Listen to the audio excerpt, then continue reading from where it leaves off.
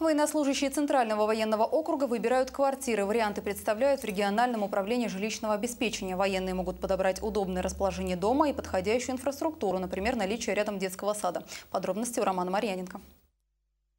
Михаил пришел в армию по призыву и вот уже больше 10 лет служит по контракту в мотострелковой бригаде Центрального военного округа. Говорит, на гражданке копил бы на квартиру до пенсии, а так еще и до старости далеко, и крыша над головой вот-вот появится. Сегодня Михаилу нужно выбрать один из нескольких вариантов квартир. Я служу в Чкаловском районе, в военном городке. Хотелось бы подобрать квартиру где-нибудь поближе к месту службы. Могу вам предложить улицу Краснолесье, дом 123, квартира 167.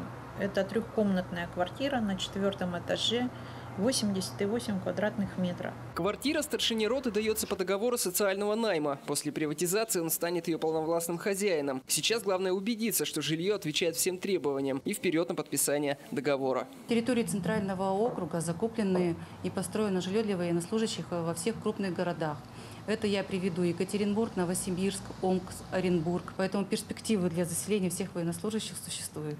Инженер авиационной эскадрильи Константин Сидоров вселился в новую квартиру два месяца назад. Вместе с семьей переехал на Урал из Читы. На службе следит за техническим состоянием транспортных самолетов Ан-26, а дома не расстается с кистью и молотком. Но это приятные хлопоты. Ремонт его закончить невозможно, его можно только приостановить. У внука Николая наконец появится своя детская, а в гостиной семье даже в полном составе совсем не тесно. Грех жаловаться, квартиру глава семейства выбирал сам. Естественно, надеялся получить квартиру, ждал ее долго, очень долго.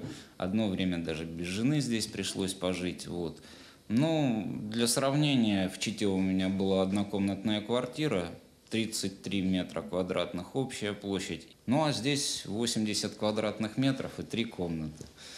Разница значительная. Всего за полтора года очередь за жильем в Центральном военном округе сократилась втрое. В новые квартиры въехали больше 8 тысяч военнослужащих из Новосибирска, Томска, Оренбурга. Но больше всего новоселов насчитали в Екатеринбурге. Роман Марьяненко, информационная программа «День», Екатеринбург.